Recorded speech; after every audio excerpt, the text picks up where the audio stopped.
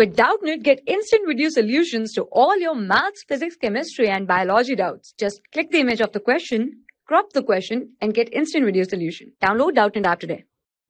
Hello friends, the question is solve the given differential equation.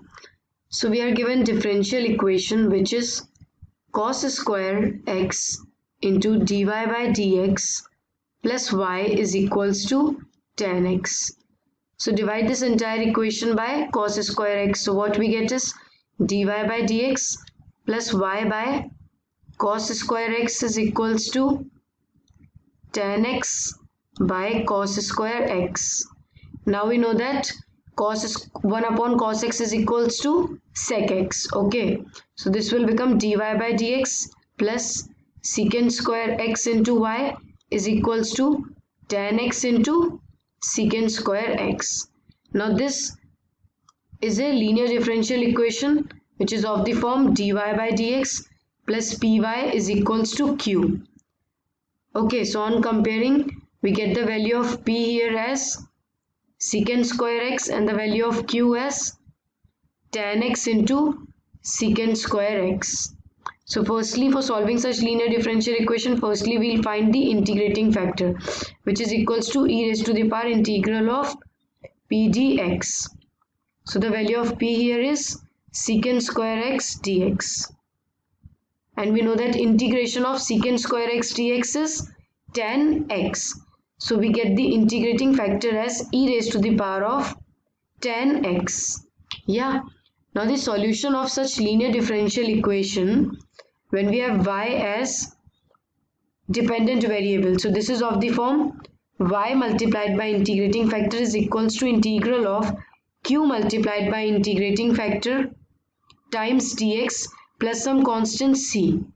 So now just simply put the values here. So we get y into e raised to the power of tan x is equals to integral of value of q is tan x into secant square x into integrating factor is e raised to the power tan x dx plus this constant c. Okay, so now for solving this given integral, what I'll do is just put tan x is equals to t. Now differentiate both these sides. So differentiation of tan x is secant square x dx is equals to dt. Okay, so now this entire equation, this will change to y into e raised to the power tan x is equals to integral of tan secant square x uh, dx. This will become dt and again tan x will become t into e raised to the power t. Plus we'll have some constant c. Okay so now easily we can solve this integration by using integration by parts. So let's say this is our function first and this is our function number two. Okay so now we are going to use integration by parts here so this will become y into e raised to the power tan x is equals to using integration by parts. So first as it is into integration of e raised to the power t will be e raised to the power t minus integration of differentiation of t will be 1 into integration of second function which will be again e raised to the power t dt plus constant c. Okay. So this will become y into e raised to the power tan x is equals to t into e raised to the power t minus. Again integral of e raised to the power t dt will be e raised to the power t plus constant c. Okay so this will become y into e raised to the power tan x is equals to take e raised to the power t common. So inside bracket we have t minus 1 plus constant c. Now again put the value of t as tan x. So we get y into e raised to the power tan x is equals to e raised to the power tan x into tan x minus 1 plus constant c.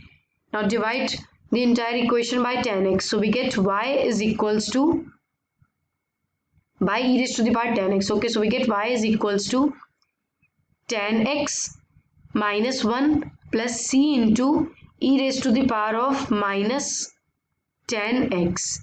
Yeah, so this is the required solution of the given differential equation. Thanks for watching.